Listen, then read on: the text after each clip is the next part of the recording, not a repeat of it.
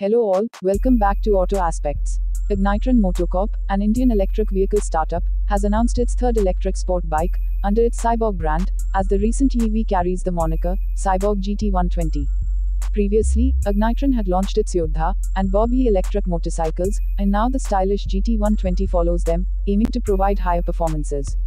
So, in this video let us understand the key specifications and the performance aspects of the all-new GT120 electric motorbike. Beginning with the motor, the Cyborg GT120 gets a brushless DC motor that churns out a peak output power of 6 kilowatts and ensures a better torque to speed ratio. In terms of battery, the GT120 includes a lithium-ion battery pack which has a capacity of 4.68 kilowatt hours, making sure the battery's performance is optimum for urban commutes. So, this battery and motor combination provides a maximum range of 180 km per charge, while the maximum speed of the GT120 is capped at 125 km per hour, and thereby upholds the performance of being an electric motorcycle.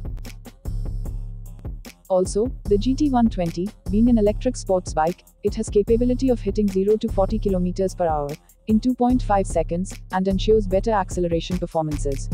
While, other aspects would be charging, as the Cyborg GT120's battery can be juiced up in 5 hours, using a 15 amps fast home charger.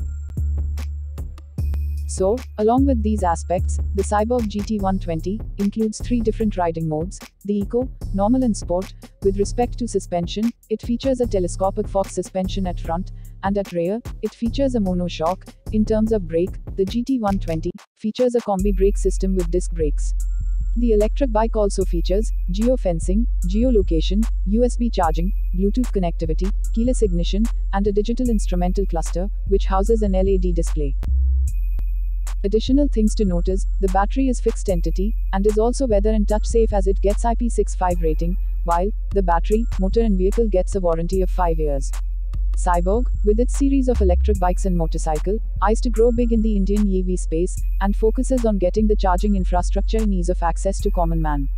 Hope the content was informational. Thanks for watching.